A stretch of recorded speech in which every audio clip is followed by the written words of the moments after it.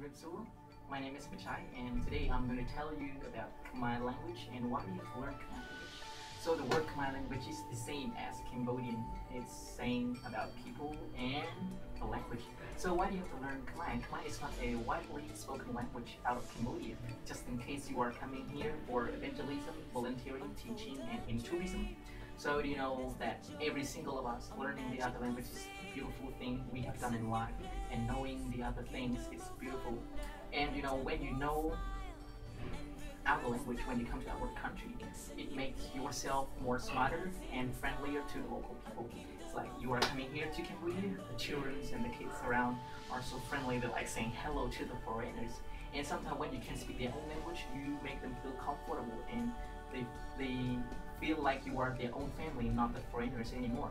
And the other things, you need to know Khmer language because you know the bad thing in Cambodia, like people like laughing behind you and talking something behind you. So you have to understand them, and uh, I bet they won't say anything good about you. They might just say something funny behind you, or something weird about you, or something stupid about you, or they insult you or something like that.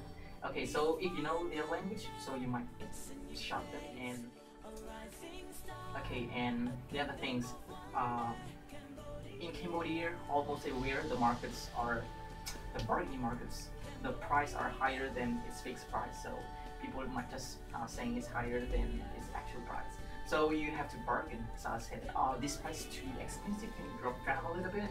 Yes, and then uh, they might think, oh, you know client and you know the services here and the fair price. And sometimes when you are catching tuk-tuk, catching the scooter taxis and you are traveling and you're buying and shopping the street foods and the, uh, I mean the cheap products along the road and something like you're visiting in Phnom Penh or in Siem Reap or somewhere around just buy little things from the kids and buy books. You have to know some little bargain, yes. And it's really beautiful to know that. And the next steps of knowing Khmer language, we have two different ways of speaking. We have the official language and we have casual language. So the official language is the formal way of speaking Khmer. You might hear it just only in lectures, readings, TV shows, and in offices speaking. And the casual language is a daily practice. When you get to know it, it's quite easier for you to practice with the people around. Like you learn one, you can practice one, you learn two, you can practice two. And the most important thing for you to understand the Khmer language is focus and emphasize your brain with the vocabularies more than the grammar because it's quite crazy with the grammar so you have to fix your head with the vocabularies. When you know more vocabularies the more communication you can make and the more sentences you can create. Okay so what is the difference between the official language and the casual language? Um, the official is like uh, you say very formal way you say very uh, grammatically very perfectly like you say where do you go in the casual way, we like squeeze up everything, shorten up everything, and make everything shorter and say faster. Like we say, go where? The formal, where do you go?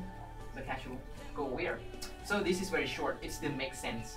This is how it is really easy, and that is why we really like to speak the casual way rather than the official one.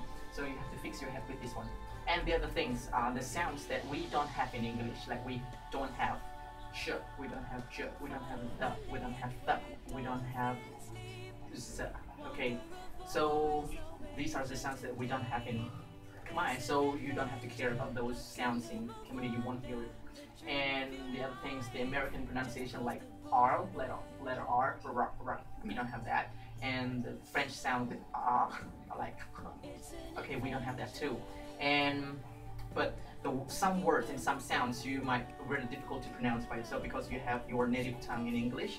So the sound between T and D, the, and sound between um, K and c C, g, g, you might don't have that one.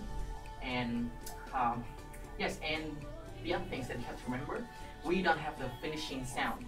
Like in English, you almost have finishing sound in every single word like you have fish and then the finishing sound thanks uh, blaze bless at the end. So the finishing sound and in Khmer language we don't have the finishing sound.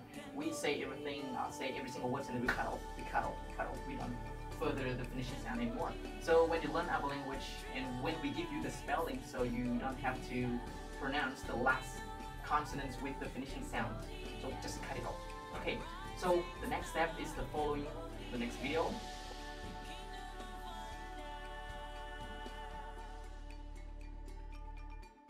Cambodia.